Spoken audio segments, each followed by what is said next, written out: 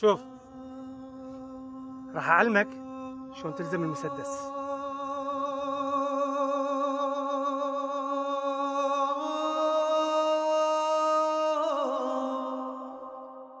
عصام أبوك شو وقت يطلعونه من السجن؟